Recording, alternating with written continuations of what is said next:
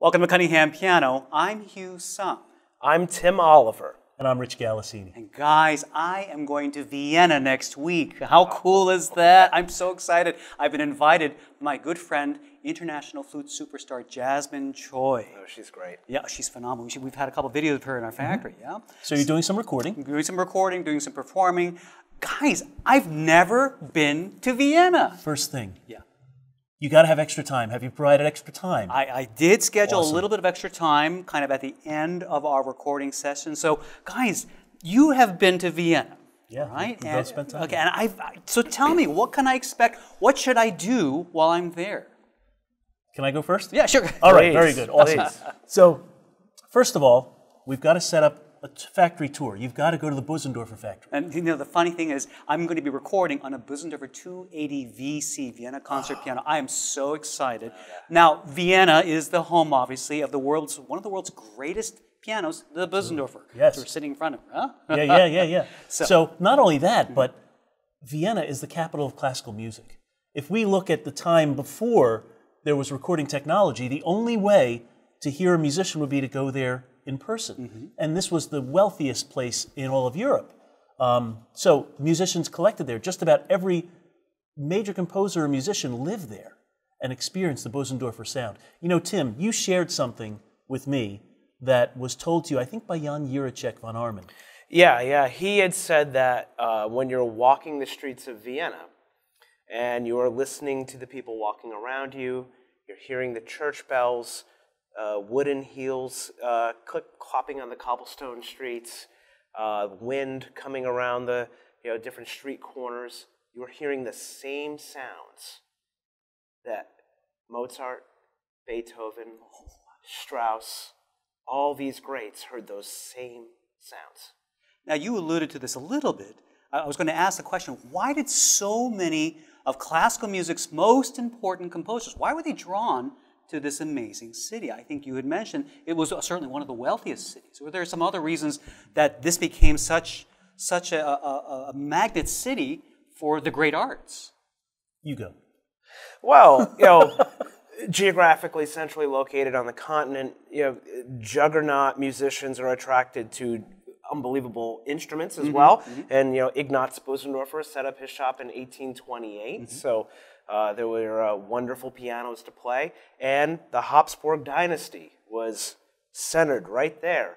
Uh, so uh, there are palaces that they had left over that you'll want to go see. This is why the imperial model of Bösendorfer is called the imperial, because the Habsburg dynasty uh, took it on as their favorite instrument, the biggest, the most wonderful, the most luxurious piano you could have, right? So, so every other royal family on the continent, if they wanted to keep up with the Habsburgs, they had, had to have an imperial. Um, but in addition to that, it's really a city of music. The last time I was there, I spent the holidays there. So my family and I went there the day after Christmas and stayed through New Year's and after. Every day and every night, there were several recitals, concerts, mm. operas, and every one that I went into was packed yeah, with people that love music. Pretty much every night of the week, yeah. right? It's just a remarkable place for live music. Mm. And wouldn't you love to be in a, in a building and look out on the view that Mozart looked out on when he was composing? Be in the same apartment where Beethoven lived. Go, to, go and see where Richard, Richard Strauss lived, where Haydn lived. That's fantastic stuff. real quick, um, I was in the Mozart house. Mm-hmm. And we were in the basement, and there's a the Bösendorfer salon uh, where there's a little recital area, and they brought in Paul Badura Skoda. Oh wow! And I'm with maybe 30 people, and I finally got Wi-Fi. so I'm there. I'm looking at my phone, and there's Paul Badura Skoda who plays this wonderful uh, Mozart piece for us. And I noticed there's a question from one of my friends who's understudying the role of Tamino that I'm doing, and he's asking me where in the score of Magic Flute I'm going to be making a choice of whatever. And I'm thinking, my God, I'm in Mozart's house where Magic Flute was composed, listening to Paul Badura Skoda play Mozart, and I just got a question. so cool.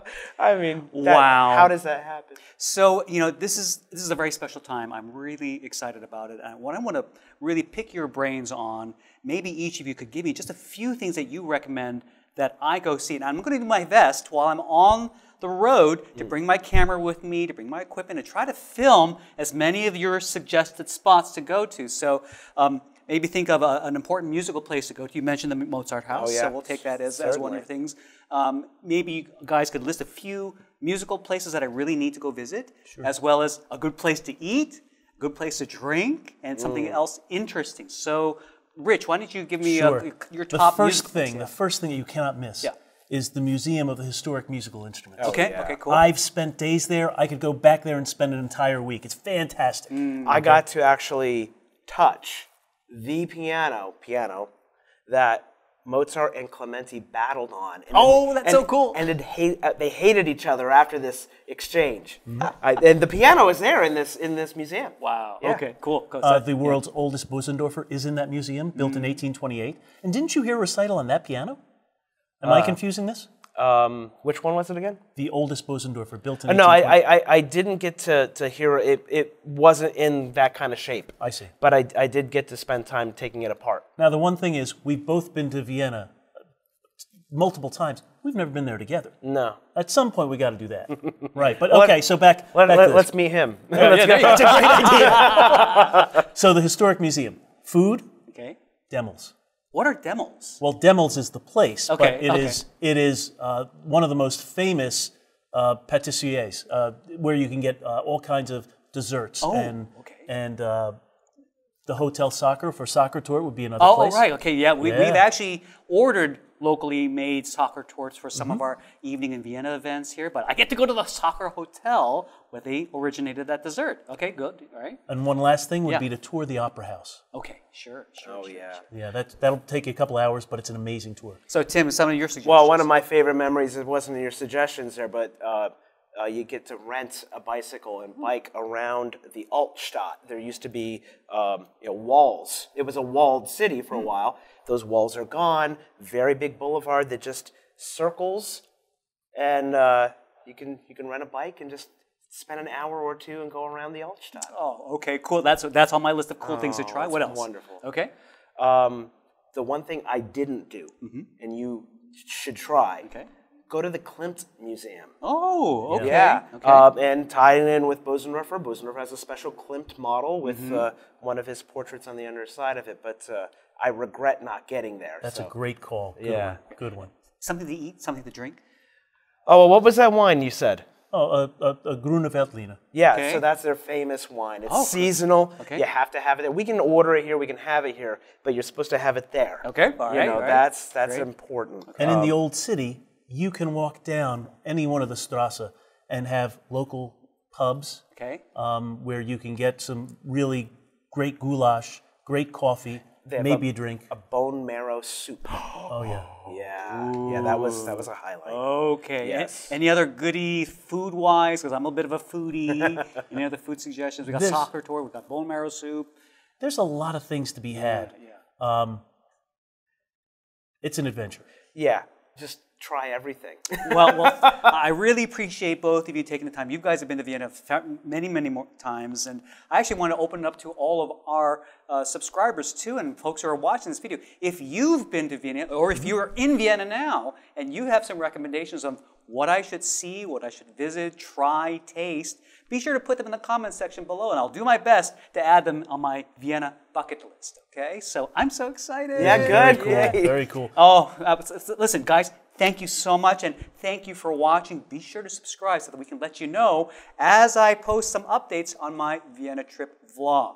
So, Hugh, Yeah. I will reach out to a few musicians that we know in Vienna. Cool, okay. And hopefully you can hook up with somebody who might even be able to point you towards Yeah, the best local pub, in their opinion, the best local coffee house. I'm so excited. Very cool. Hey, thanks so much for watching. For Cunningham Piano, I'm Hugh Sung. I'm Tim Oliver. And I'm Rich Galassini. Thanks so much for watching. We'll see you guys in Vienna.